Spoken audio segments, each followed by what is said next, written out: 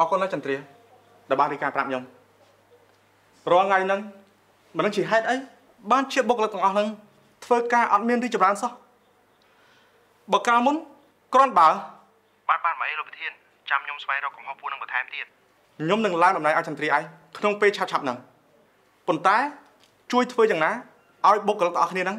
ជួយធ្វើការឲ្យក្រុមហ៊ុនយើងហ្នឹងឲ្យបានល្អខ្ញុំតឹងចិត្តណារាល់ថ្ងៃហ្នឹង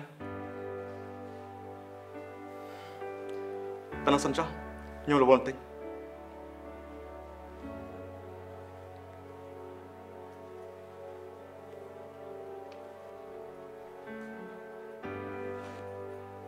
សម្រួលអារម្មណ៍ហើយអង្គុយចុះសិនមកកូន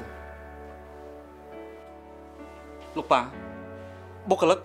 ដូចជាធាក់ដៃមិនទេមេផ្នែកនីមួយនីមួយដូចជា កាលពីប៉ានៅគ្រប់គ្រងបុគ្គលិកខំប្រឹងធ្វើការណាស់ចុះឥឡូវមិនអញ្ចឹងអត់ទេលោកប៉ា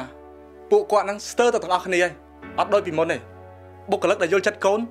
មានតែប្រមាណអ្នកឯងក្រៅពីហ្នឹងវិញបនឲ្យទៅដល់ខែហើយបាក់លុយមិនបានមានកំណត់បែបហ្នឹងកូនកូនមានបានស្វែងយល់បញ្ហាពីគ្រប់បុគ្គលិកហើយនៅ ថាគេមានបញ្ហាអីឬមួយក៏កូនគ្រាន់តែឃើញនឹងភ្នែកឬនឹងតិច ហើយមិនបានស្វែងយល់ពីមូលហេតុឬគល់ឲ្យបានច្បាស់លាស់នោះ